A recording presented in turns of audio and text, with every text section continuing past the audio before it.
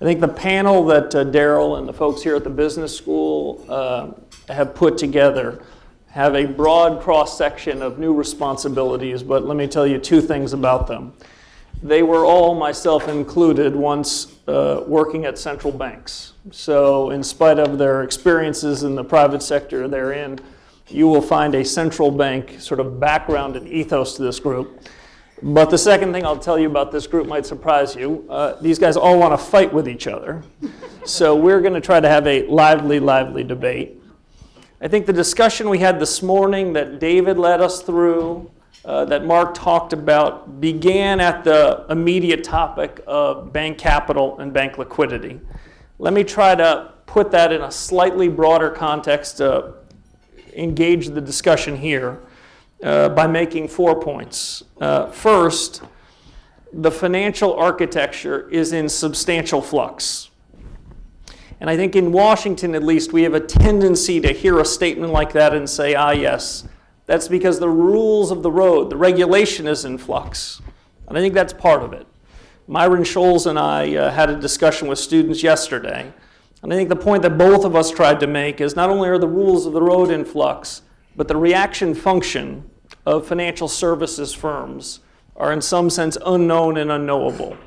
And in order to get this all right, not only do the rules have to be clear, but the understanding of what that means for banks and other financial services firms on a global basis has to be understood so that the right things can be done for the global economy. So it is this uncomfortable iteration that I would say we're in the early, early parts of. Uh, the business of banking is at an inflection point. I think some of the questions that are in some ways in the air here include will the banks at the top become utilities to one extent or not? Second, will those banks be in a different tier? Will they have a different competitive environment, a different group of competitors than the other 9,000 financial institutions in the US? Or, in fact, if we think of the largest banks, the next tier, think of those as regional banks, and the next tier, think of those as community banks. Will those borders among those tiers be permeous? Will they be porous? Will they be permeable? Will those that are at the top fall? Or will the same institutions that are at the top today remain there forevermore? I think the implications of that question are likely to have big consequences, not just for regulation, but uh, for the broader economy. Are banks special? We have a tendency in central bank uh, language to talk about the banking industry. And the theory of that always was that somehow banks are special. They take retail deposits and they do special things. But the discussion that Mark led you through on Basel suggests that maybe it is financial services firms, and the specialness might not be their ability to take deposits, but it might be whether they are, in the language of the moment, systemically important. And I think the other implication of that is our firms that are outside the formal banking sector, who might think that they're not going to be subjected to these rules, is that the uh, direction that the world is going? So the capital and liquidity discussions that we're having today strike me as being indicative, illustrative of some of these uh, bro- broader developments. Second, let me just briefly try to define what we're talking about in capital and liquidity. I think David and Mark did a, did a good job of that this morning. But at some level, I think I would say capital is a kind of insurance. Capital should be what absorbs losses that are unanticipated.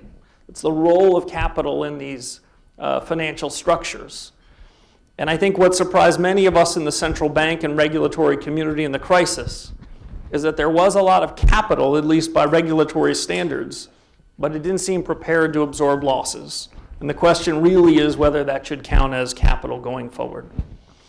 Second, we had a bit of a discussion this morning about what is liquidity. And uh, while I think we can talk about liquidity as the grease that helps the engine run, I think the reality, at least for those of us that were hanging around in the darkest days of the crisis, is separating capital and liquidity as much as we can in some academic textbook prove difficult. So keeping those definitions separate and understanding when they conflate in periods of distress is useful. Uh, third framing point um, is that we tend to talk in forums like this and uh, analysts that cover the banks They tend to talk about levels of capital and liquidity from a regulator's perspective. I think we probably don't give enough time and attention to what the right levels of capital and liquidity are through the eyes of markets and market participants. And if you were to ask me about where the focus should be, I think there's no doubt that we need regulatory reforms, no doubt that we need greater clarity on what regulators expect capital and liquidity to be. But that shouldn't be to the detriment of what market participants demand of individual institutions. And if we end up in a world of capital and liquidity where regulators are the only ones setting the rules and market participants are yielding entirely to the great wisdom of us in the regulatory community, we will not have the kind of transparency and market functioning that we want. So I'd put a bit more uh, burden in our discussions on what do markets think the right capital and liquidity are for Bank X, for a institution with the following characteristics, and uh, those judgments ought to be taken into account when regulators do their job. And let me make a fourth and final framing question, and I think it's one that was made this morning, but I'd amplify it, and that is we have one imperfectly integrated global economy. We have one imperfectly integrated set of financial markets. And the idea that any of us, no matter how wise, no matter how rigorous our rules are, that any of our banks or financial institutions, or our economies for that matter, are somehow isolated to the rest of the world is an error. I think uh, many of us uh, that served at the Fed over the course of the last several years uh, feel good about one thing in particular, and that is maybe a little bit at our behest. In aggregate, the US banking system has recapitalized itself. Now, it may be that firms would have recapitalized if they weren't pushed a little bit by their regulators. But I think all in all, we have to feel pretty good about the massive recapitalization of our banking system. Doesn't mean that the capital levels are exactly right for everybody, but we've got a couple hundred billion dollars of new common equity that should make central bankers sleep a little bit easier in the US. And I think an open question is whether the rest of the world should feel as comfortable about the recapitalization of their banking sectors. I think the question was raised this morning about whether, in fact, they need to raise all this capital after all, after all. Because if the sovereign is prepared to stand behind them, there's a difficult and important question whether the capital requirements of them should be similar. Huge implications of this for the global economy. So, with those uh, four framing points, let me first turn to Adrian and uh, give him the allotted 10 minutes. We'll go around the horn this way and open it up to questions. Adrian.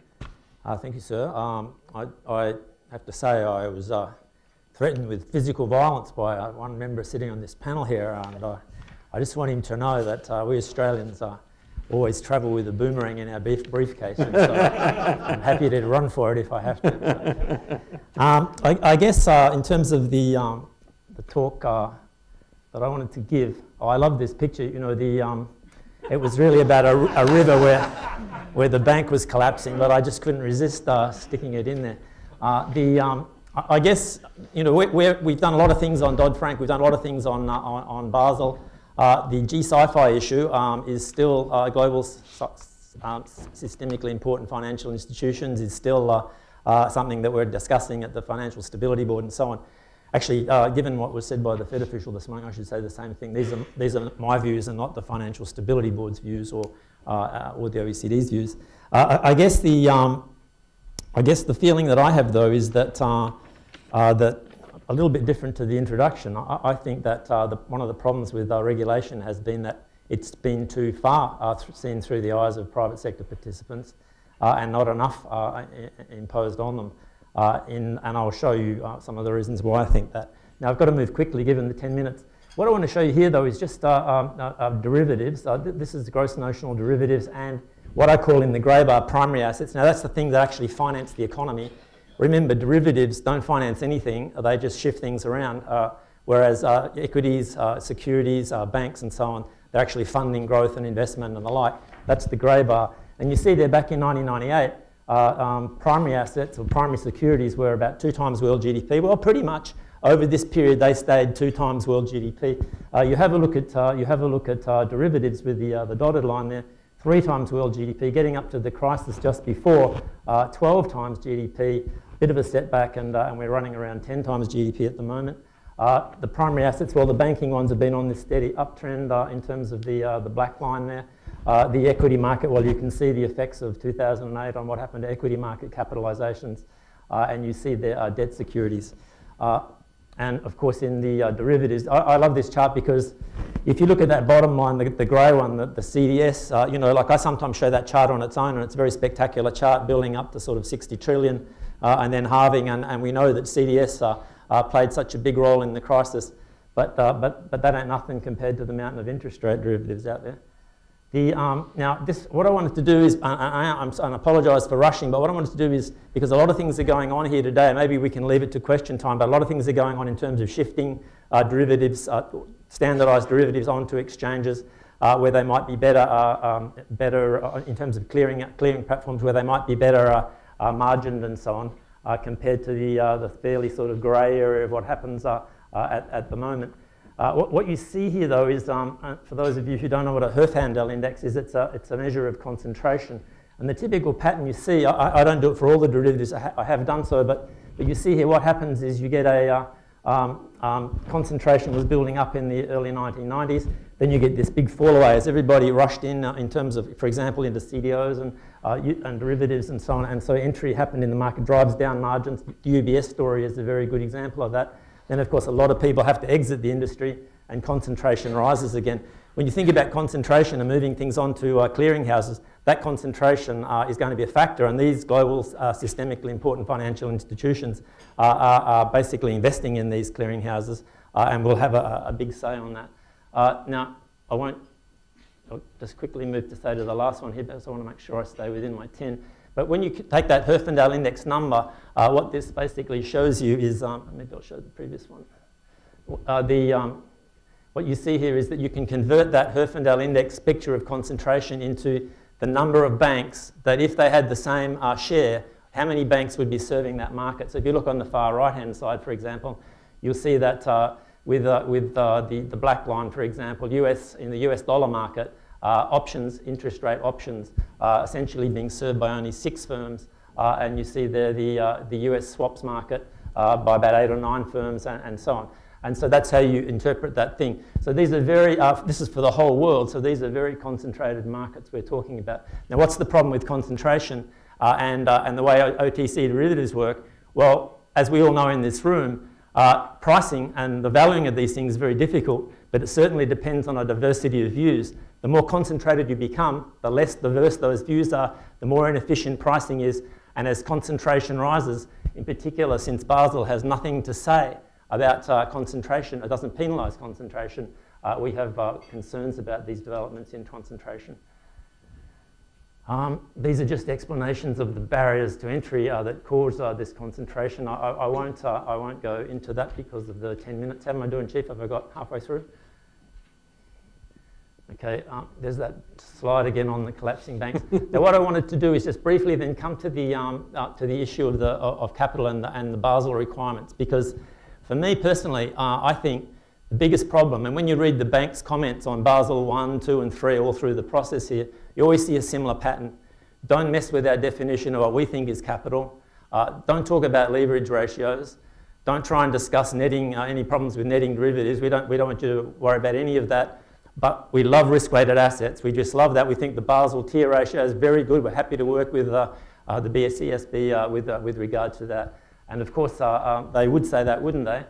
Because in my view, um, I'll skip netting and go, um, or just to give you an indication, I, love this slide, and it was my question to the Goldman's day today. He seemed to reply, by the way, I don't know if he's still here, that uh, these are the, uh, when, um, uh, just to show you the importance of getting this right, when AIG failed, these were the payments, oh, you can see there in the second last column, these were the payments that were made by, uh, to everyone who's a US citizen in this room, by your government uh, to settle the positions of uh, these banks and you'll notice there that, by the way, a majority, a majority of that money went to foreign banks. So a, a, a majority of the money paid by the US to save AIG actually went to foreign banks. Now, this, the answer I got about the 12.9 from Goldman's, 12.9 billion that they received, that they, they didn't really need it. I guess that implies that closeout netting didn't apply in the case of uh, the failure of AIG. I, I suppose that must be true given what he said. But normally what would happen is you'd be settling net positions in a closeout, and so those, as I understood it, were the net positions, and you can see how big they are. But the key point on the right-hand side, Uh, 29, 30, in the case of Deutsche Bank, 37% of their equity less goodwill was paid to them as capital. The alternative position, had AIG been allowed to fail, what would have happened to those, uh, what would have happened to those banks? They would have been losses taken to the bottom line, uh, and that would have become a, a problem for all of the, uh, the global financial system. So now I want to come to the question of uh, um, um, uh, Basel to finish.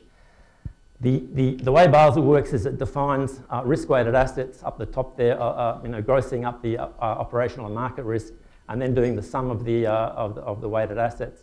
Now, the problem, with, the problem with the Basel system is that Basel has nothing to say about the ratio of risk-weighted assets to total assets.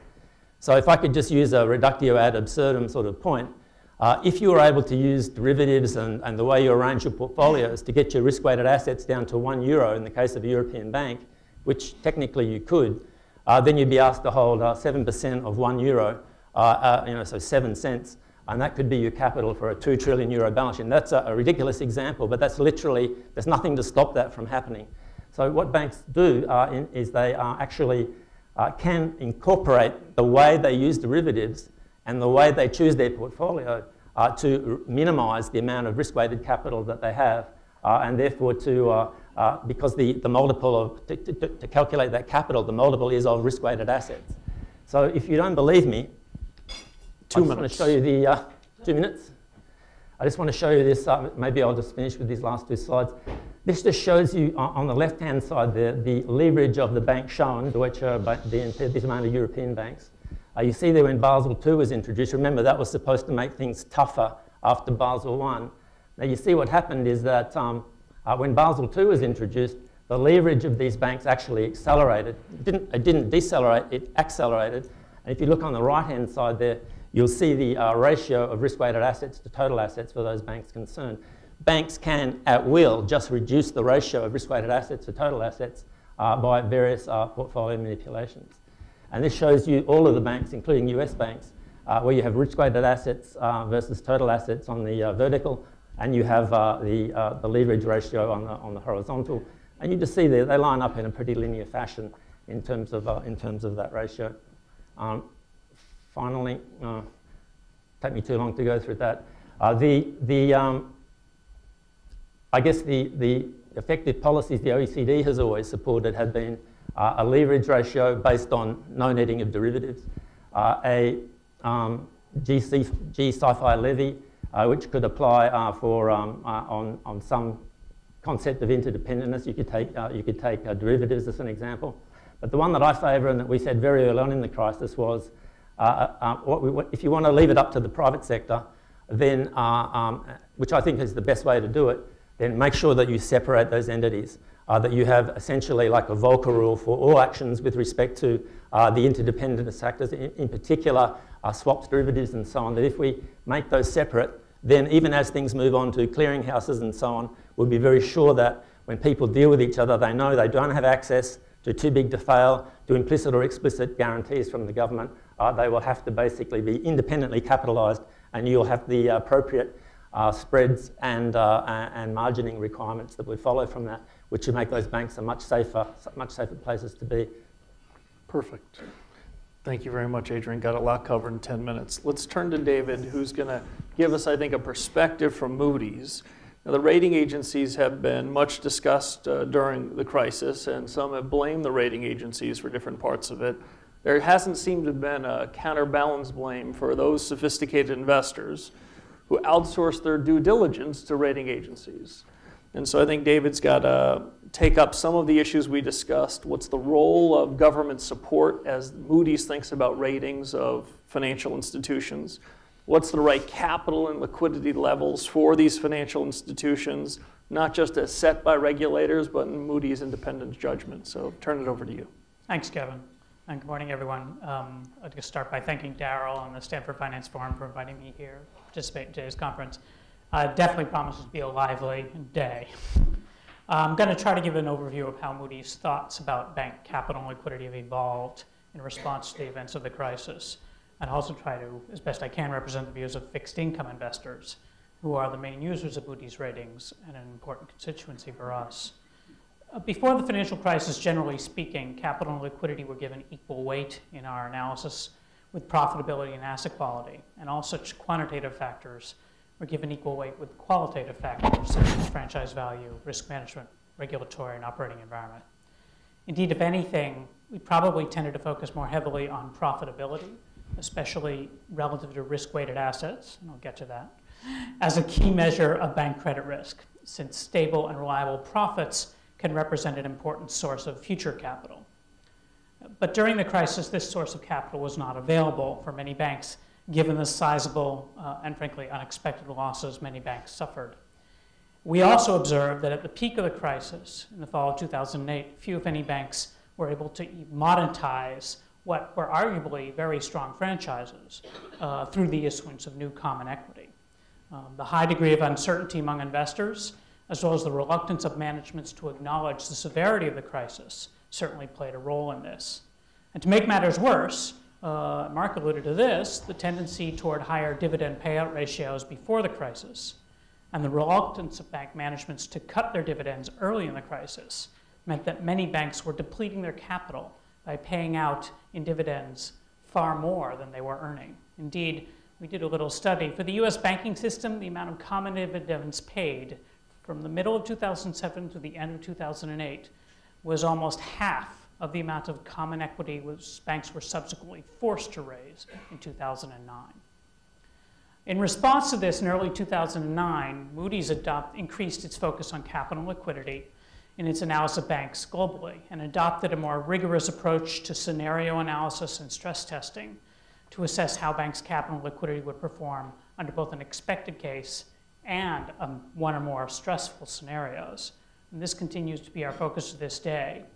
As a result of this, we had fairly significant number of rating downgrades uh, during the spring of 2009 on banks, mainly on their, more so on their standalone ratings, as Kevin alluded to, the support, implicit support, much of which at that point had already become explicit, did provide something of a, a, a buffer, and so that debt and deposit ratings at that time did not fall as much, although we today see the gradual removal of support and the changes in resolution powers occurring in many countries continues to have downward impact pressure on bank ratings because we think those support assumptions that we sustained pre-crisis, that we increased during the crisis, um, are likely not to be sustainable post-crisis.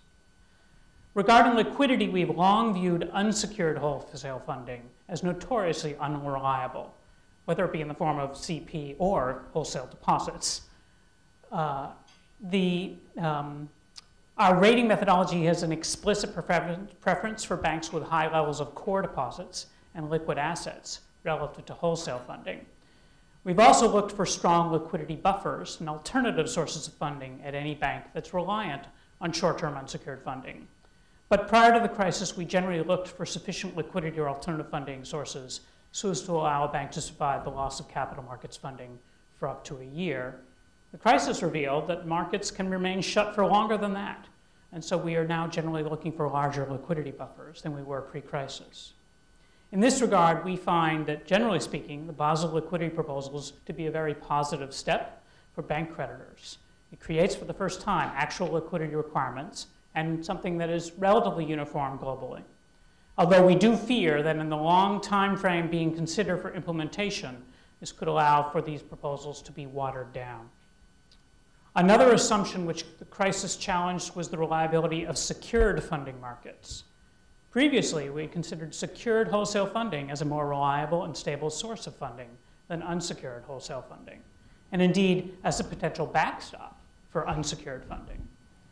Our view had been, had been, that while haircuts on such funding would likely increase in times of stress, the funding would still be available. But during the crisis, secured funding dried up almost quick, as quickly as unsecured funding for many issuers.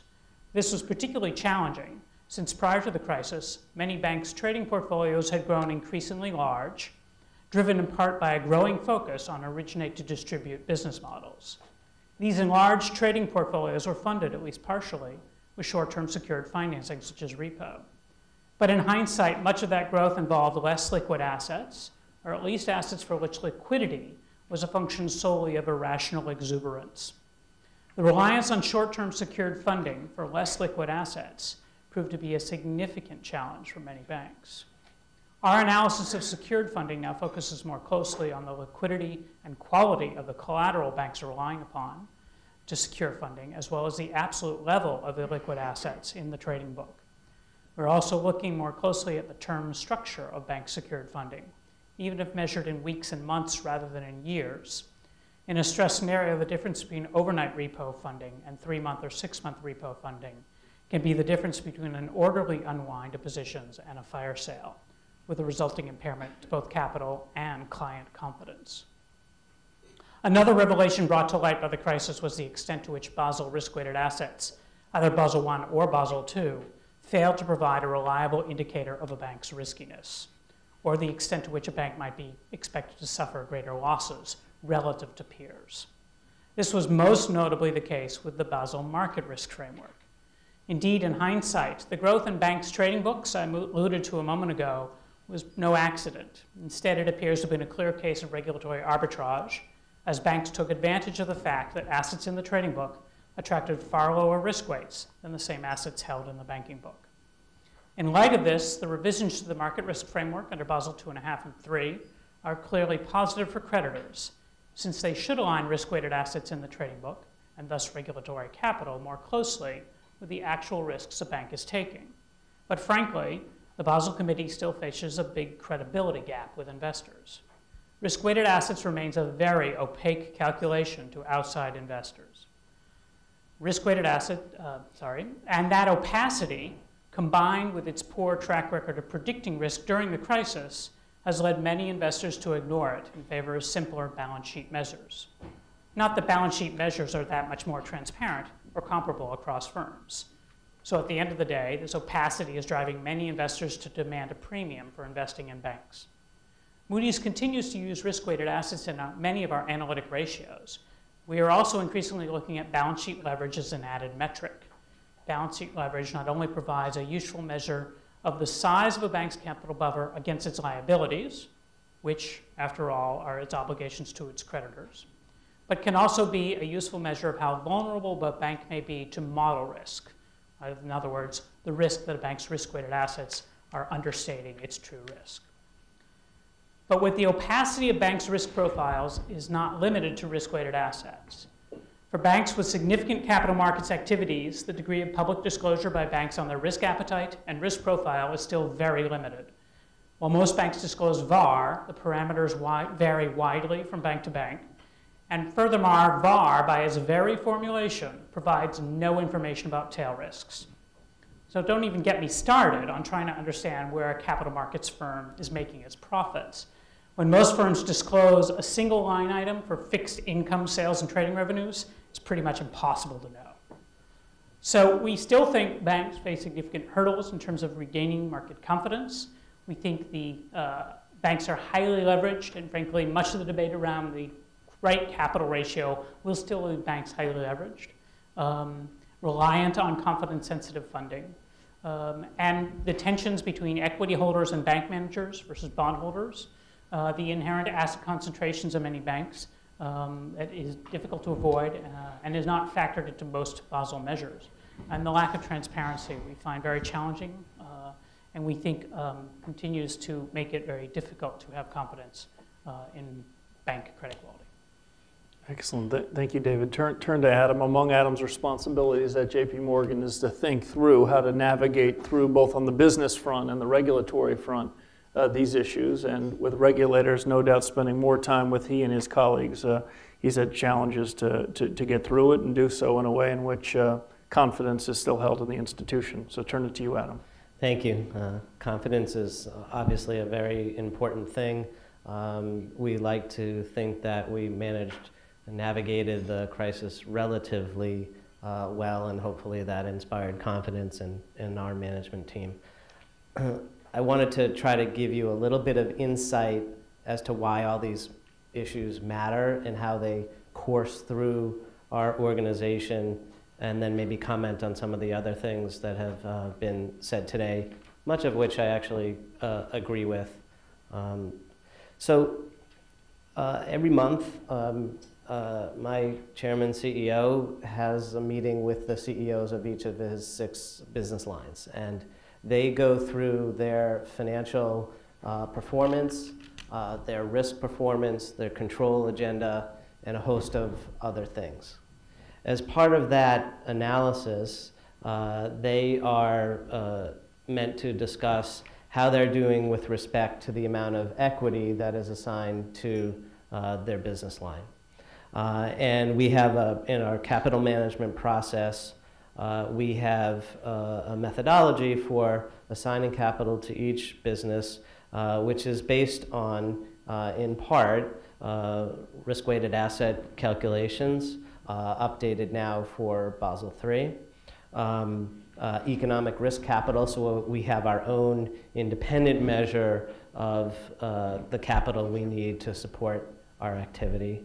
Um, uh, RWA stresses, uh, peer comparisons, our, our outlook and expected uh, losses and loan loss reserve coverage, uh, as well as the application of management judgment, for example, related to the need to support franchise value in, say, an asset management business or something like that. Um, so uh, each business gets a, a, an allocation of capital, uh, if you will, and it's translated into a, a, core amount or equity capital only. It's not uh, reflective of any type of hybrid instruments that may be allowed by regulators. At the same time, we tried to fully load the costs of funding uh, to each of those business lines. Uh, so that um, we, we give funding to assets and we give credit to business lines that generate uh, liabilities. And we try to do this based on market of observable factors.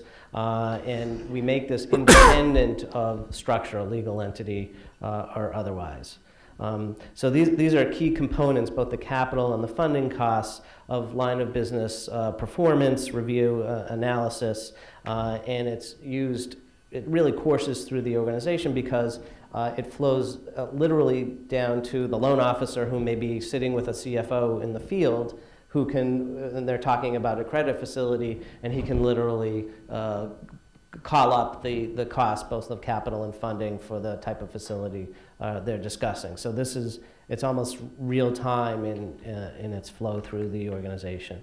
It's the, they're drivers of marginal pricing decisions, of uh, uh, pricing models, of portfolio uh, sales and acquisition uh, decisions. So uh, this is very, very important uh, throughout our organization, and it creates a discipline around financial awareness and regulatory awareness because most of the time, virtually all of the time, uh, the regulatory requirements uh, exceed our assessment uh, of the risk, even though we believe we're applying um, highly rigorous methods to determine the risk. So uh, what is done in the regulatory sphere translates directly into, the, into the banker activity. So against that background, let me just talk a little bit about what I consider to be uh, the laboratory that we're in. And I think that's really uh, what it is. Uh, and many people have uh, uh, noted this. Um, so as a general matter, we are highly supportive of uh, higher capital requirements, stronger liquidity standards, or really the introduction of liquidity standards because we haven't had them uh, before in any formal way. Uh, certainly the elimination of the too big to fail uh, notion, and we were big proponents of uh, Title II of Dodd-Frank, which is meant to get at the resolvability of large financial institutions in an orderly way. To echo what Kevin said, uh, however, we've done a lot already. Um, 19 SCAP banks have raised actually $300 billion of uh, capital. Leverage has been uh, reduced substantially. And if, actually, the IMF has a great graph, uh, which I should have brought, which shows that US financial institutions are better capitalized and lower leveraged than, uh, than others around the world. Risky structures have been virtually eliminated. Uh, and importantly, we're now subject uh, to regular stress tests uh, including one we just went through to determine whether it was acceptable to repay dividends or not. Uh, but uh, also importantly, for our own purposes, to be shared with regulators, we do stress tests on a quarterly basis uh, that captures the entire institution. Uh, and we're subject to review by the supervisors of those stress tests and have to respond to their comments and uh, requests for enhancements. So we've, we've done a lot to uh, shore up the financial system uh, for, the, for the future.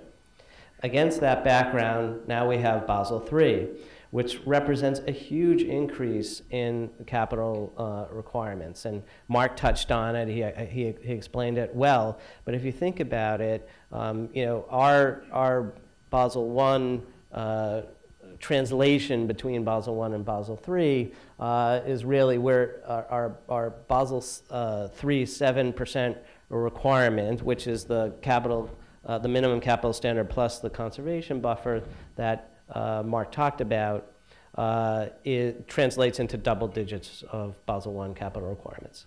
So uh, that's nearly three times the, uh, more than three times the well-capitalized equity standard uh, in the United States. So under, under FDICIA.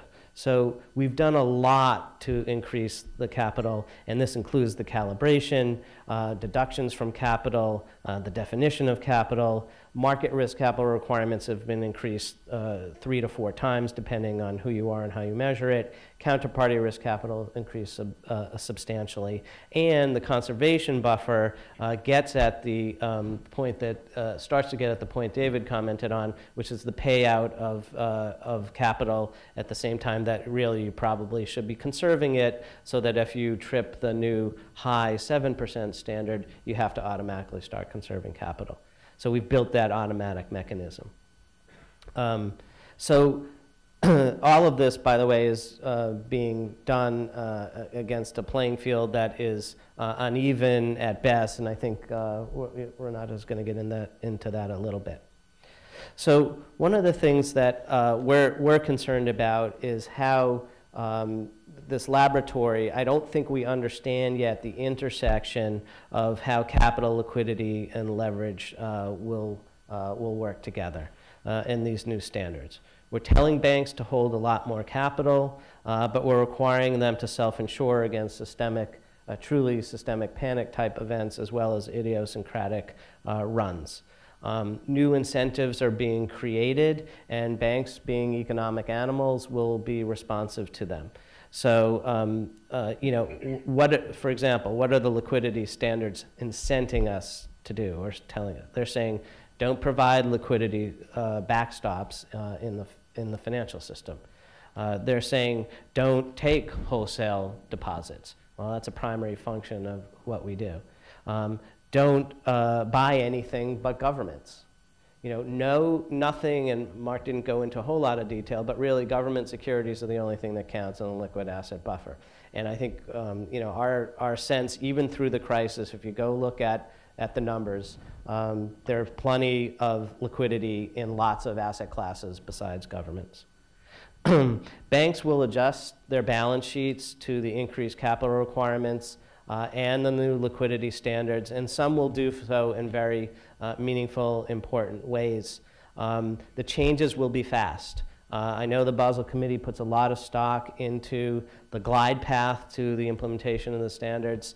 Uh, we, Mark talked about the observation period. Um, that will not happen. Uh, banks will respond as soon as the ink appears to be dry, they will be responsive uh, to that and start managing that way. We are already starting to manage to Basel III standards. Um, I know uh, others will say, uh, um, you know, there's, there's no cost to, to equity. Well, not, Anat and team will talk about that later. Um, I think David's answer to that question was, was right. Uh, the market determines that. I think you, you know, those who think that ought to go talk to equity investors as we do. They do not think that there's no cost to uh, significantly higher capital requirements, uh, and they vote with their feet. And uh, we think that's very, very important. It's not clear at all that the cost of equity, uh, we will be rewarded with a reduction in the, the risk premium uh, whatsoever. And we're creating new incentives uh, along the way, including uh, to take higher, potentially higher risks in order to achieve uh, meaningful returns. Um, I think the answer in the end is a, is a balance, as David said. Uh, we're highly supportive of, of tough, transparent, consistently applied, and reasonable standards. And what we want is not to lose the benefits of a global financial system in an increasingly global and interdependent uh, economic world.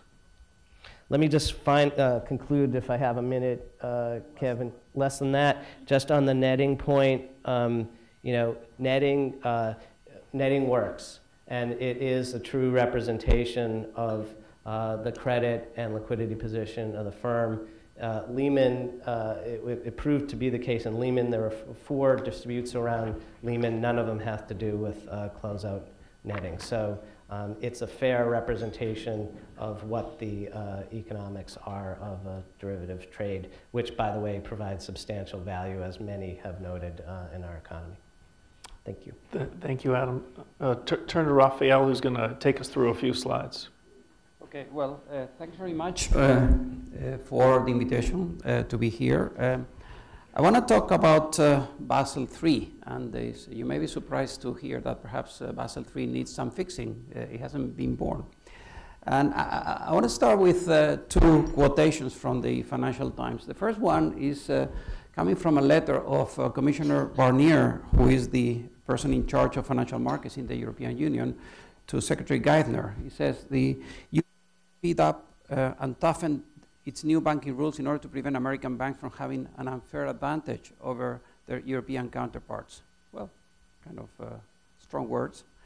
Uh, on the other hand, if you look at this side of the Atlantic, uh, there is also another uh, quotation. European banks have a subjectivity of the risk weighting system with aggressive risk calculations. This comes from Jamie Dimon, uh, Adam's boss. Uh, and, and, and, and, actually, this, this is the same concern that David Viniar expressed this morning about uh, level playing field issues. Uh, so, what's going on? Uh, well, I think that uh, part of the reason is that the US didn't implement Basel II, and it's not clear what will eventually happen with Basel III. And the EU did implement Basel II, and uh, there is a draft directive for Basel III, but in a way that, as I will explain, leaves much to be desired. So what I'm going to do here today is to look at this uh, transatlantic debate on Basel III from an academic perspective and focusing on capital requirements. I guess that I could say something about liquidity risk requirements, but I will uh, don't have the time to do that. I want to argue that uh, uh the issue of procyclicality is, at the core of uh, the problem. Uh, you may think that procyclicality is a boring macro side effect, but I think that procyclicality is very important. And in particular, the way in which it has or it has not been addressed by supervisors. I want to talk about what's happened with risk-weighted assets uh, in, in, in, recent years, and I want to have a brief comment about the countercyclical capital buffer of uh, Basel III. To start with, uh, something that everybody knows, uh, the structure of capital requirements, you have uh, capital over risk-weighted assets have to be greater than or equal to a minimum, so there are three elements in this formula. The numerator, what do we mean by capital? The denominator, how do we compute the risk weights? And of course, the minimum, uh, how large should the ratio be? Now, the proposals of Basel III have already been uh, uh, described or summarized by Mark. Uh, on the numerator, we will have a more restricted definition of uh, common equity. The denominator, we have higher weights for trading assets and structured products, and we have already seen what's uh, going to happen to the minimum requirements. Now, what else is in Basel III? Just to, for reference, well, there is a leverage ratio, there are the liquidity risk uh, requirements, and then there is this countercyclical capital buffer that I will try to make a brief comment.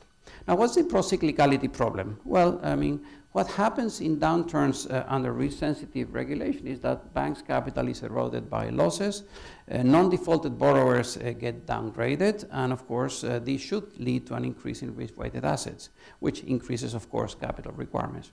So if raising fresh external capital in bad times is difficult, then banks will be forced to uh, cut back on their lending, and this will lead to this uh, amplification of uh, business cycle fluctuations. Something similar also happens in good times. So um, uh, let me quote Charles Goodhart in a recent paper in the Journal of Economic Literature. Uh, add to the procyclicality of Basel II the increased adoption of mark-to-market accounting, and you have a perfect doomsday machine for exacerbating leverage cycles. I want to come back to this perfect doomsday machine. And um, so let's look at the behavior of risk-weighted assets over the last few years. Well, capital requirements uh, are supposed, were supposed to be risk sensitive, especially under Basel II, so therefore especially in Europe. So let's, uh, I want to look at the ratio of risk-weighted assets to total assets for a sample of banks in Europe, uh, the UK, Switzerland, and, and, the US. I guess that, I mean, my, pre, uh, my, my, intuition said that, uh, well, risk-weighted assets over assets should have increased dramatically during the crisis, but look at what happened. This is for the uh, banks in the Eurozone. Well, well the, the, banks here are Deutsche Bank, Societe Generale, uh, BNP Paribas, uh, Commerzbank, uh, I think it's the Italian Unicredit and Santander. Well, I mean, could you, I mean, look at 2008. I mean, if anything, it came down, the ratio of risk-weighted assets over total assets. The UK is, is similar, nothing there, really. The Swiss banks are the ones with the lowest. Uh, I guess that Wilson will say something about this. Uh, Wilson, your bank is the red one here. Uh, they are, I mean, look at the numbers. They go from zero to 90%. And, and I, have taken the average. Uh, these are the US banks, which are much higher, and uh, yours is the green one, um, JP Morgan. And, and, I've taken the regional averages doing the uh, weighted by the assets. And uh, well, you can see here that uh, US is at the top, although some people tell me that this is because of uh, some accounting uh, netting things. And the Swiss banks are the, at the bottom. And, uh, but the, I mean, I guess the private sector people worry very much about the cross-sectional differences in these uh, uh, ratios. I'm, concerned about the time series behavior, the fact that you couldn't tell from here that something big has happened uh, in the last few years. Uh, during the first worst financial crisis since the Great Depression, the ratio has remained stable. So the perfect doomsday machine that Charles Goodhart was referring to was not perfect at all. So how can we account for this? Well, uh, there may be some portfolio reallocation uh, to our safer assets, but I think that the most likely explanation is the fact that uh, a lot of these uh, banks uh, were using through the cycle approaches to uh, get these internal ratings. And these, these are unconditional assessments of risk based on an ideal average point of the business cycle and these uh, unconditional assessments uh, were accepted and even encouraged by supervisors. Now, what's the problem with through the cycle approaches? Well, basically, nobody knows what it exactly means. Uh, it, it, it are, they are applied differently by different banks and jurisdictions. They open the door to excessive supervisory discretion, and certainly they uh, introduce this uh, risk of unlevel playing field. Also, they violate the usage test requirement of Basel II uh, through the cycle ratings, ignore material and relevant information, so they are not useful for pricing and risk management. So um, they are a disaster, basically. Uh, and, and, and since uh, you didn't have uh, the way to adjust uh, the capital requirements for the cycle, uh, then, of course, uh, the only way was to do this cheating. Now, how about the counter-cyclical buffer, which is this new invention that Basel III has introduced in order to take care of the cyclical behavior? Well, this is an extension of the capital conservation buffer. It's an additional 2.5% of risk-weighted assets. And the problem with the counter-cyclical buffer is that the Basel Committee has chosen as the common reference point for taking the buffer decision something called the credit to GDP gap, which is like the output gap, but with uh, credit to GDP ratios. What's the problem with the counter-cyclical buffer? Well, I mean, if you look at how it correlates with business cycle like GDP growth, in most countries you have a negative correlation. So that means that the gap would signal to reduce capital in good times and would signal to increase capital in bad times. Now, uh, so, so this is a complete disaster. Uh, uh, so uh, I have here some correlations using IMF data.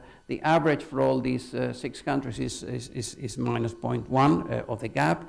The second column is the correlation of the buffer that you construct from the gap is also negative. If you take the World Bank data, then you have even stronger negative correlations, and here for the US is, is, is negative. Uh, and this is for the data comprising the 2009 uh, year. So uh, I have a picture. This is uh, what in the UK, which is the, one of the ones, one of the countries for which this uh, negative correlation is, is, is, is, is stronger. And, and you can see the red line is GDP growth, uh, the blue line is the credit to GDP gap, and you see the credit to GDP gap peaks in 2008 and 2009. So this is where you're telling banks to build more buffers at the time where you're supposed to be uh, uh, releasing those buffers to, to accommodate the state of the cycle. So, um, what would be the alternative approach? Uh, well, I, have written a paper with uh, two of my former students uh, proposing to import the idea of automatic stabilizers. Uh, the idea is to use point-in-time uh, ratings to compute the requirements, and then use a multiplier scaling factor to, uh, based on GDP growth to adjust for the cycle. The multiplier would be greater than one in expansions, would be smaller than one in recessions, and in that way you could try to ameliorate the impact of the business cycle. So let me just conclude with a few comments. Uh, uh, I think that Mark is the only person on, of the Basel Committee here, so these, Mark, these are for you to take. Uh, first, uh, it's about what should the Basel Committee do? Well, I think that the Basel Committee should explicitly abandon through the cycle approaches. A point in time, I think, is the only hope for Basel III, in particular, the only hope to sort out the level playing field issue. Second comment, I think that you should explicitly abandon uh, the credit to GDP gap uh, and look for an alternative reference, uh, uh, common reference without these negative side effects. Third, I think that you should introduce a, a, business cycle adjustment to the minimum requirements. This is something that was pending in the Basel III, and the possibility, if nothing better comes uh, to mind, use this uh, uh, multiplier based on GDP growth. Uh, I have three more. Uh, um, I think that the Basel Committee should stop conducting its work in silos. Uh, the different risks and the different regulations are not independent. You have a group of people working on liquidity regulation as if liquidity had nothing to do with capital, and, and then you have the counter-cyclical people doing this work without looking at what would be the implication with respect to business cycle. This is a terrible situation. I think that you should get together and try to put things under the same uh, uh, analysis. Uh, I think that uh, uh, the Basel Committee should seriously engage academics. Uh, I think that there are there are many problems with Basel III. You have basically ignored them. Perhaps uh, some of them are very vocal, not necessarily friendly, but uh, you, they are your only hope. And finally, and finally, I think that at this point we should put the US in the driver's seat. I think that uh, the chair of the Basel Committee is going to be appointed in the next few weeks. I think that uh, there is this risk of uh, US drifting apart. You have here Dodd-Frank and all the uh, duties that this require. I think that uh, uh, this is a time where the US should be put you know, in command of this. And, and remember that I'm a European on this, but, but I think that this is... Yeah, I'm sure. Uh, but this is badly needed. So I, I, urge Mark to convey this to your bosses that this is the time to make a bid for, for the chair. Thank you. Thank you, Rafael. So we have uh, two microphones just as before. Um, you can direct your questions to individual members of the panel or you can put them out there and I'll try to sh share them broadly. As people are getting the microphone, why don't I start with a question for my colleagues? Um, and if you can line up behind the microphones to follow me. So, at a place like Stanford, we'd probably begin this debate by saying, well, what's the framework for prudential supervision? How should we be governed? And I think in that framework, we'd say, well, there should be three pillars. There should be regulatory discipline that would play an important role, and much of the discussion today has been about that. There's capital standards, and that's a second pillar, and that should play a very important role, and much of the discussion today is about that. Now, let me add the third pillar, which I think Adrian will take up with some discomfort market discipline. Now, over the crisis, I think what we found is that regulatory discipline fell down. Capital standards, capital regulation fell down. And yes, in fact, market discipline fell down. But much of the discussion today has been about how do I fix those two pillars as if the suggestion is, you know, you can never trust those markets again. Well, we didn't say that about regulators and we didn't say that about capital. So is, for I'll ask my uh, colleagues up here, is there a role for market discipline?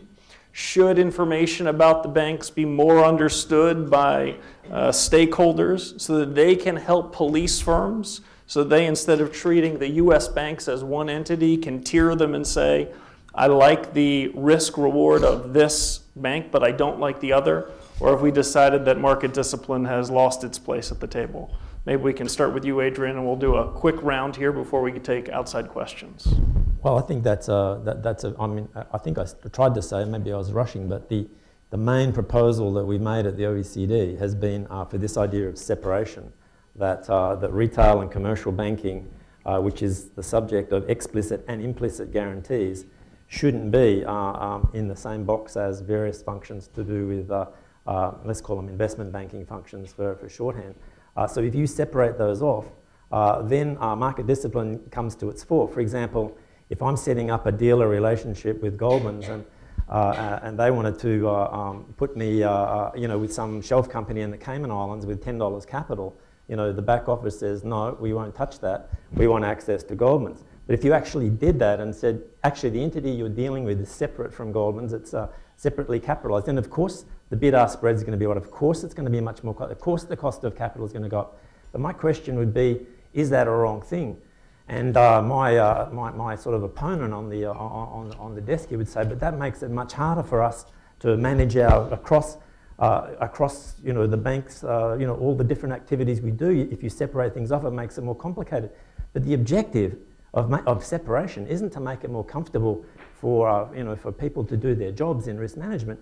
The, exist- the, question really is, is to make it um, to make it such that the cost of capital that you face is the true cost of capital and there's no cross subsidisation from deposit insurance, implicit guarantees, too big to fail, and so on. You shouldn't be implicitly putting that into your uh, cost of capital for other parts of the business. So, separation is exactly uh, what gives you proper market discipline. I'm very happy for the private sector to do it, but not when there's cross subsidisation, too big to fail. Uh, retail banking and so on has to be separated from that. So Adrian was looking at me, but he was talking to you, Adam. What say you? I'm going to eat my boomerang. Yeah, um, I, I don't, I don't think separation is what would achieve the desired market discipline. Uh, um, I, I believe that would make our financial institution much more opaque, not less, uh, since transparency is obviously one of the issues that people have talked about enhancing market discipline. Uh, I think it's wrong to say that we're not in this, uh, it- it's okay to make life more difficult for the management of risk within an institution. That's precisely the opposite of what we want uh, to intend. As far as cross subs, uh, subsidiarization, you know, the retail business pays for deposit insurance, but now in the United States, the wholesale business pays for deposit insurance because it's based on total liabilities, uh, not on deposits. So uh, I think there's a lot to refute what, what, that what um, Adrian has to say there. If you want to enhance uh, market discipline, I think there's a, we think there's a, very important role for that. I think disclosure uh, is absolutely critical to that. You know, banks' annual reports, quarterly reports run into the hundreds of pages. Uh, there's a lot of information there. Uh, some of it's driven by um, the accounting standard setters and the securities regulators, not necessarily useful. I think it's important for bank managements in their uh, interaction with the marketplace, whether it's through earnings calls or uh, conferences or meetings with uh, rating agencies, uh, to try to make them as transparent uh, as possible. There's lots of debt uh, issued by financial institutions in which the market can um, vote with its feet. Okay, Let, us turn to questions. I think my cue here is now a word from our sponsor. Oh, jeez.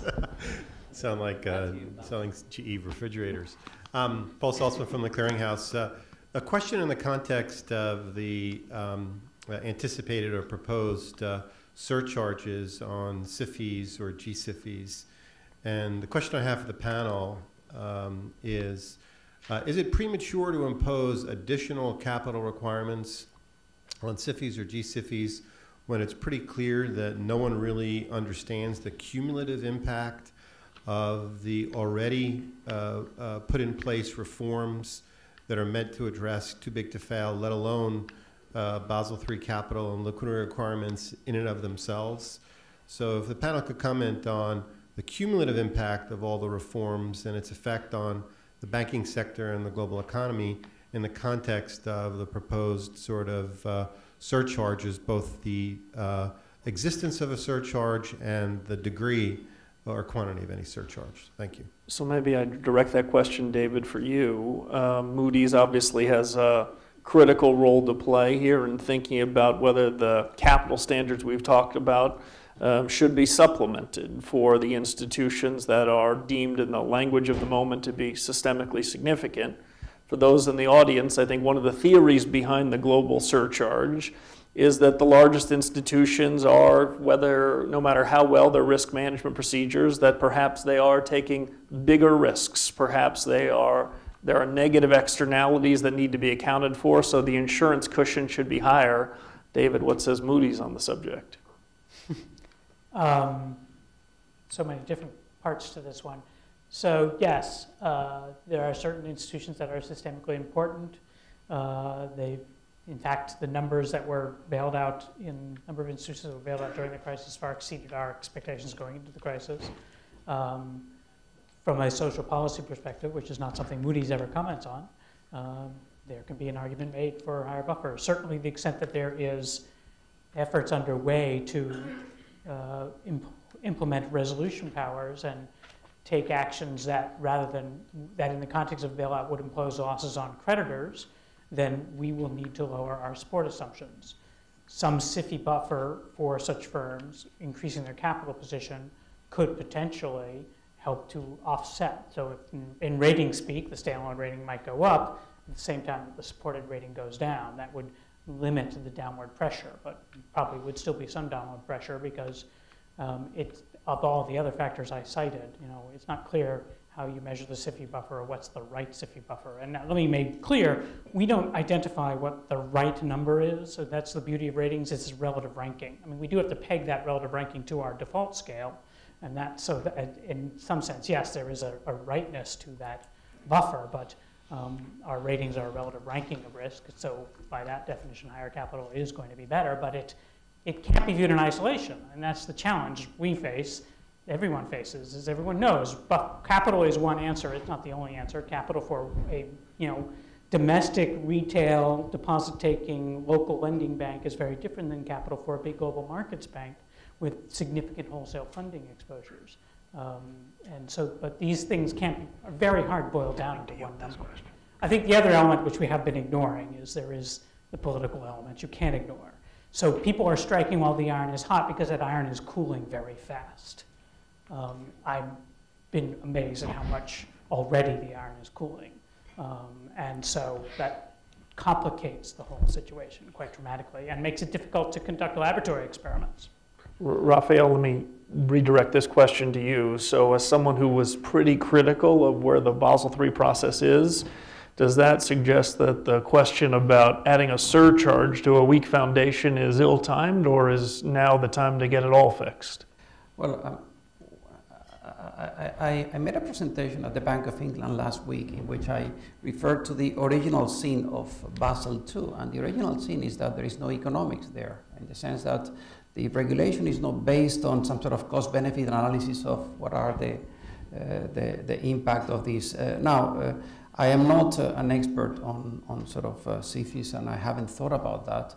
My hunch is that uh, if you look at the costs, social costs, which are associated with the failure of one of these large uh, systemic institutions, then that suggests that perhaps there should be a surcharge uh, for them. But uh, I don't have any idea about the magnitude, and certainly I don't know what uh, Paul was referring to the cumulative impact of all those regulations because the package has not been designed in a sort of uh, uh, global way. It's, sort of we don't know. I mean, uh, I mean, for some banks, perhaps these liquidity risk requirements are going to be terrible, and uh, so I don't know. Adrian wants to jump in here, then we'll take another question. Just, just really quickly, I, I think the answer to the question is no. Uh, it's not too early to be doing it, and the reason is is because uh, Basel, uh, with the, the, port, the, assumption, the basic assumption of Basel is portfolio invariance, uh, which is like a linear additive kind of thing, which doesn't penalise concentration. Uh, we're talking here about, and, and, let me tell you, the debate that is on this very subject is about the question of uh, how do you sort of get the, eyes of, the notion of size and concentration and interconnectedness. That, that's the technical difficulty of having one. But the idea that we shouldn't have one now because it's got somehow covered when we have a system where portfolio invariance is the assumption, uh, to me, it, there's definitely the time to have it because you can have a buffer on uh, the question of concentration uh, and interconnectedness, if we can define what that is. So I think the summary from uh, this panel, and I think the question is, uh, reminds me of the old saw. Um, they, were, they asked the person at the restaurant what they think. The person at the restaurant said, the food here is terrible and the portions are too small. Next question. Just re- returning again to the, the question of too big to fail, and uh, I'd love to hear the differing perspectives from, not from Adam and Adrian necessarily, but from Adam and, and David. So Adam, you, you, taught, you extolled the virtues of, uh, of Dodd-Frank Title II and, and talking about how, if I understood you correctly, it, it eliminated the too big to fail problem for, for the SIFIs. I'm intrigued by this in light of the fact I'm not as familiar with Moody's own, own ratings of the SIFIs as I am with Standard & Poor's, but that uh, Standard & Poor's has made an explicit reference to the implicit guarantees when, uh, when evaluating and rating the debt of, of these systemically important financial institutions. So the question is, uh, for Adam and, and also for David, is, is JP Morgan too big to fail? And if the answer is no, why do the rating agencies have that wrong in, in the ways that they evaluate that debt? And if the answer is yes, then could that be something that, that these uh, equity investors who would be so resistant to, to ratcheting up capital adequacy, would that be something that they would, would enjoy? Those implicit guarantees, the, the subsidies from government that would make the equity investment uh, a much more uh, lucrative proposition for them. David should definitely answer that question first. Um, we believe they are systemically important, and we incorporate two notches of uplift into our ratings, which are already quite high because they did demonstrate stronger risk management than many of their peers and maintained a stronger capital position than many of their peers. Um, it will be very difficult to resolve JP Morgan in a way that does not create massive systemic risk. Their role within clearing systems, multiple different clearing systems, not to mention derivatives products, is enormous. And frankly, this is true for many large banks around the world. And to, to tease that all apart, to tease apart that interconnectedness in a way that can somehow resolve these institutions without creating massive contagion is extraordinarily challenging. I think most of us here understand that. I'm not talking, I'm not talking heresy. People understand these things. But the reality is will be very difficult to implement. There are many, many things beyond just having a resolution power, um, including many of the other elements of Dodd-Frank, um, which may help. You know, um, significant restructuring of the organizations may be necessary, and through the resolution plans and living wills process to even get to the point where that could be done. Now, there's a lot of work on that being done, and we may move in that direction, but we still have, for us as a rating agency, we still think there's a lot of uncertainty as to how successful this will all be. Um, nonetheless, we see downward pressure because the political rhetoric is very strong and the, the focus of, of authorities around the world is we don't want to pay for this a second time. Um, It's oh, and by the way, we were doing that, we've been incorporating that explicitly into our ratings for about three or four years. So. yeah, I mean, it's a difficult situation, right? Because you don't want to prove you're not a witch by drowning, right? So um, you can stop and think about that for a minute. If, if, you'll get it in a little while. Um, uh, David's exactly right, right. There's a ton of work going on through recovery uh, resolution, so-called living will processes now. We've done um, three submissions on this with our regulators. It's going to be iterative. There's much more to come. Uh, we think about legal entity structure and how to simplify that.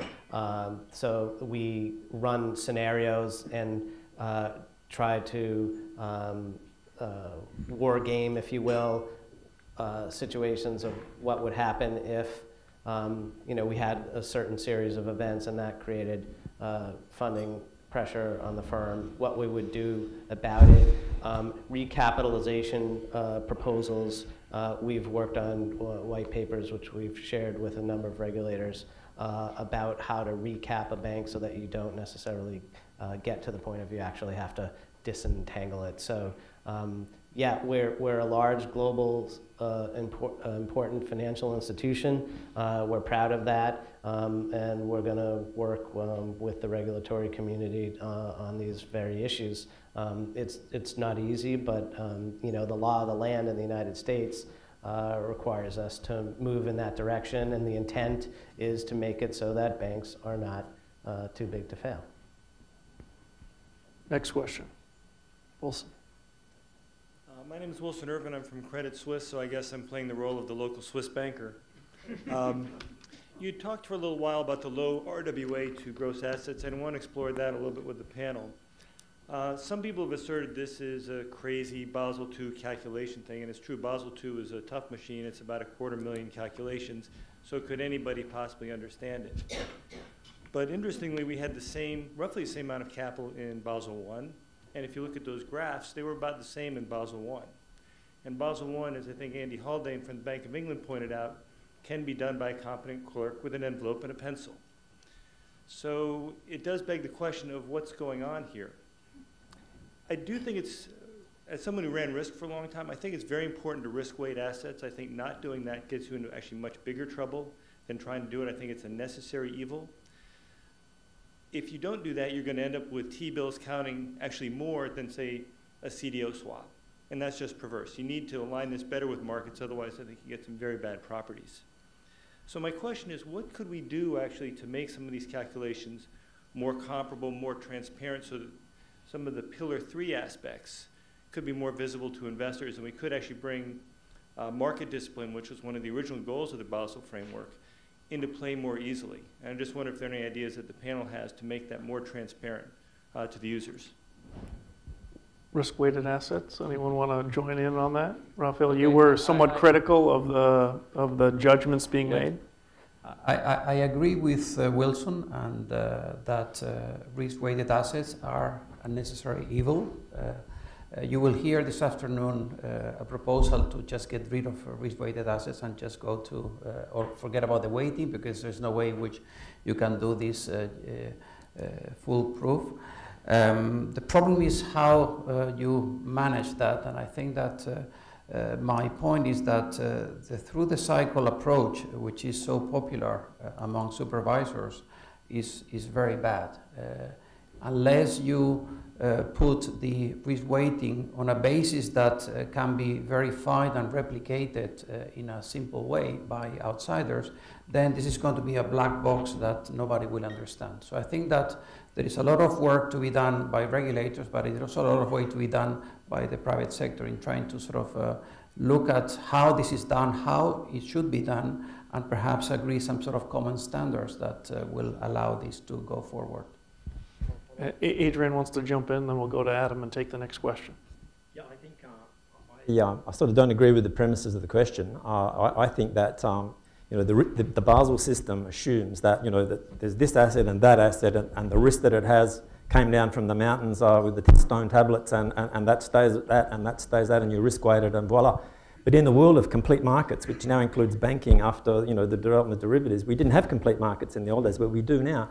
You can just shift. The, so what is the financial system? The financial system is just the system of promises. You go back to the Wild West days, you just write a promissory note. It's a system of promises. If you have a system where derivatives can be used to shift those promises around to wherever the lowest common denominator is, because we do not have a level playing field, if you can just shift the promises around, risk weighted assets let you do that. And that's what they do. And that's why those graphs look like that. So shake your head, but that's the truth. Uh, it, to me, there's no such thing as ex ante buckets of risk because you can always transform things. Uh, I just encourage you to actually look at the numbers for the actual banks in the world and check how those trends have been over time and when Basel II is implemented. Adam? Can I put it up? I was actually going to say something nice and agree with you. Oops. But, but Oh, too bad. Um, Actually, I think, I, actually I will. So to, again, to get at. Wilson's, que- uh, try to get at Wilson's question, and I think uh, Daryl, uh, you and Gary Gorton may have done um, some work that says, hey, it, it, capital may not be the best predictor of uh, distress here. In fact, it could, it's likely to be uh, a, le- a lagging indicator. I think we saw that in um, the, the uh, financial crisis as somewhat of a lagging indicator, and that there are other measures that we ought to be looking at, Wilson, which might help us uh, here. And this is where, Adrian, I can agree with you. I think concentration is an excellent point. You know, we see this all the time. Bank, why do banks fail largely? Because they get concentrated in a particular type of asset class, uh, and that blows up somehow, uh, and they can't withstand it because the market loses confidence. There goes their funding, the capital isn't there, and they're done. And I think that's a great point, and we should, uh, we should definitely uh, look at that. Um, asset quality uh, measures ought to be scrutinized uh, intensively as predictors of financial performance. So I think there, there are metrics out there. I think banks put a lot of information out there. Perhaps we can do a better job. We can, maybe some academic research could be done about other predictive measures of uh, bank financial performance and risk performance um, to supplement uh, on capital. I don't know that you could ever actually get uh, Wilson through a Pillar 3 type disclosure into the gory details of actually how um, you know a, a PD LGD was actually determined because it just it would be too much information to digest. So I'm just wondering if there's some way you could use some sort of standard testing portfolio or something Yep, that like would be another way. A way to cut through the complexity. Yeah, I think that's a good, um, we've suggested that, I don't know if it's on, but we've suggested that in market risk in particular, uh, the. Advoc- we've advocated the use of test portfolios to get behind what are, how are models capturing the risk attributes of a particular portfolio. We think that's critical. It'd be hugely informative to supervisors. They ought to use it as checks on each other for peer reviews. Uh, we'd be all in support of that. Let's take our next question. Yeah, I'm Jonathan Berk. I'm a professor here at GSB. One of the advantages of being a professor is you get to take a step back every now and again. So I'm going to ask you a question, which is really going to force you guys to take a step back. The question is this How can somebody earning $100,000 a year possibly regulate somebody earning $10 million a year? Let me give you some background. If you look at the, the, the discussion today, you will see all the regulators said essentially the same thing, which was there was a problem with the current regulation, and here's how you fix it. Ignoring the fact that when that current regulation was written, those very people were saying there was a problem with the previous regulation. Here's how we're going to fix it, and we're never going to have the problem again. Okay? And Adrian goes back, takes whatever you guys write, okay, and then figures out how to make the most amount of money he can, which inevitably, which inevitably, which inevitably leads to undermining the regulation. So let's go back to the question. How is it possible for people earning hundreds of thousands of dollars a year to regulate people earning $10 million a year? So it's a, it's a question that I think's been hanging over this group for a while. Um, let me invite my colleagues to jump into it. I would suggest that one answer is to not rely solely on the well intentioned, good faith wisdom of regulators alone to be the policeman. I would suggest that regulators need some means to look over the mountain around the corner. And one means to do that is to get market prices to start helping them. Market prices can't help them if people that are bidding on those prices think these institutions are effectively backed by their governments. So, one mental exercise, as my colleagues get ready to answer this, is look at the 10K or 10Q and financial reports of a consumer products company. Look at the financial statements of Walmart or Procter and Gamble. Spend a couple of hours and see if you understand that business and what the risks are to them financially. Seems not an impossible task. Pull out the 10K or 10Q of a large, systemically significant financial institution in Japan, in Switzerland, in Germany, in France, in the US, and try that same exercise, even with the expertise in this room, and you end up with a far less un- clear understanding. And in so doing, markets are perhaps not helping regulators look around the corners as best they could. But I turn it to my colleagues to try to answer that question. Rafael, should we start with you? Yeah, well, I I think that this is not unique to banking and banking regulation. Think of taxation. I mean, you have a corporate tax lawyer earning the 10 million, and uh, maybe you have the, the poor guy working at the Treasury or the IRS uh, trying to sort of uh, see through this. So, I mean, this is a, a broader thing related to uh, public sector and how it relates to the private sector. And I think that I agree with Kevin that there is, a, there is something that uh, can be said on, on, on his argument. But I would like to argue that uh, there is something called uh, sort of uh, public service. I think that's how people sort of like to spend their lives uh, in, in sort of uh, working in this type of field. And perhaps uh, we should rely more on this type of ability of willingness of people to do that kind of job. But I, I don't have a good answer to your question. Adam? David and I were, were uh, classmates uh, together, and we went to the, the Fed uh, together in, in New York after graduate school precisely for that reason. We were interested in public service, uh, and we didn't think we were, uh, well, at least in, in, David's case, he was as smart as any banker that was out there, definitely not in my case, but his, in his case, uh, you know, he was committed to public service. There are high quality people uh, in regulatory agencies. Um, they're not unlike any other uh, corporate type entity where you have a distribution of talent. And, um, you know, I, I, don't think it's purely uh, a matter of money. You have very dedicated people who are uh, committed to that endeavor. Is it a challenge? Yes. I think cross-pollination would be good. Having regulators come in, actually spend some time in a financial institution and go then look at another one to avoid conflicts. I think that's, uh, I know in France they've tried that. I think that's a very good uh, uh, discipline. Um, but I, I, don't think it's a purely a matter of numbers. You have institutional uh, frameworks, you have you know, well-intentioned and well thought out people. I, I, have a question for, for you in return. Like, how do I get to wear jeans and a tucked out shirt to an event like this? you, uh, That's very good. Well you, done. You, you, get tenure at Stanford. okay. Um, well, and I, let me ask you this. It's funny that this was your response because I guarantee you on the compensation committee at Morgan, you would never argue that.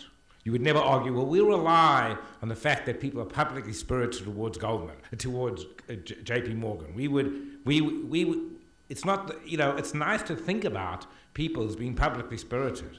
And it's nice to think that we all act in the way we do, but we know that fundamentally people aren't motivated that way on, you know, at, at a very base level. So when you've got a, somebody earning a couple hundred thousand and somebody earning 10 million, we know where the incentives, the person with the 10 million has all the incentives to work really, really hard, and worse than that, to hire the very best brains to undermine whatever regulations were written. I think if we just proceed with saying, well, that doesn't happen, hmm. that people don't behave that way. No, I, I think I, that's how we get I don't to think where I we was are. Saying, I don't think I was saying that. I think that uh, all I was saying is that for, for the pay that the Federal Reserve pays, which is very good relative to society in general, they're very competent, strong people. There's an institutional framework that supports them. Um, there are laws and regulation that provide the foundation for what they do. Uh, could they improve their talent? Absolutely. Would it be better if they had more money to pay people to attract as rich talent as they could? Yeah, that would be helpful too. But it's not like they're without talent or with, they're out they're in, unable to do uh, their their jobs. I, I just I don't find that.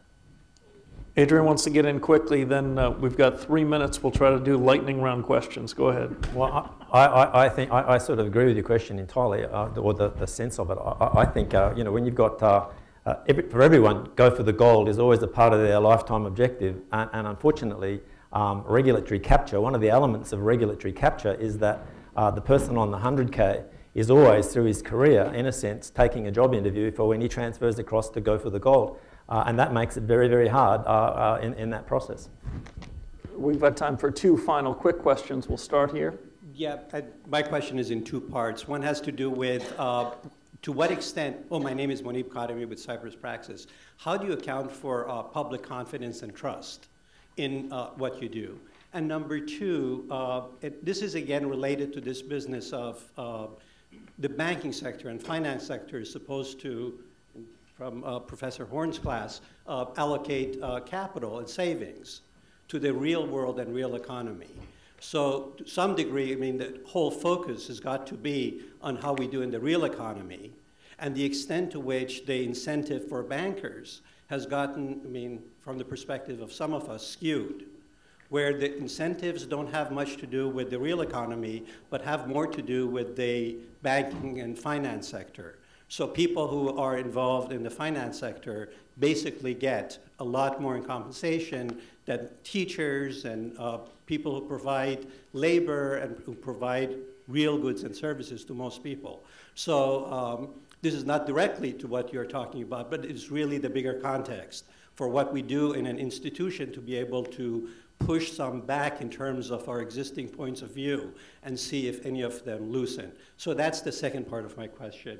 It has to do with whether you are uh, aware, whether you agree, whether you question among yourselves whether the banking and finance sector has an inordinately greater amount of power in society, in our political system, even in the regulatory environment, uh, as well as in our economy. Anyone want to try to do that quickly?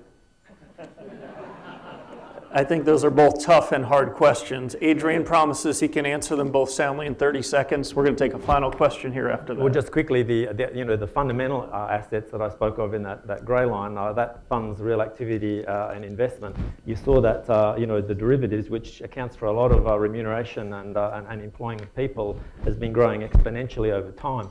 let's just say that that period from 1998 till today isn't a period that covers itself with glory in terms of economic growth in the real economy. Great. Final question. Very, very quick then. Moody's just threatened to lower US government's rating if debt ceiling and presumably related issue of deficit wasn't handled. What do you all think? How serious is this? It was directed, it's a qu question about the uh, forthcoming debt limit directed at our Moody's colleagues. Presumably we put out a special comment yesterday. I haven't actually, actually had a chance to discuss it with my sovereign colleagues. Um, so I'm going to pass on that. But I, certainly we've been pretty consistent in what we've been saying, which is the U.S. government has a deficit challenge. Uh, many developed countries do. Uh, the U.S. government needs to address that challenge. The short-term issues about the debt ceiling are um, uh, just heighten that challenge. But frankly, if a government decided for whatever reason to default on its obligations, even on a temporary basis, then we would need to reflect that in the presumably everybody else on the panel has been thinking about this particular issue too, so I wonder if we could hear your general thoughts on debt ceiling, US deficit, lowering ratings, what this might do to what you all do. So I'm looking at the look of my colleagues here, and they feel ill-prepared to answer that. But, uh, but, but uh, we appreciate those two final questions. Those are both, frankly, worthy of panel discussions, both with respect to the fiscal sustainability of uh, the economy in the U.S., the costs and obligations associated with the financial crisis that have no doubt added to the burdens that the last question spoke to, as well as I think a broader question that was raised about whether the time and attention and financial resources that have gone into the financial services sector is bearing fruits on the real side of the economy. With that, uh, let me, on behalf of all of you, thank my colleagues for joining me today.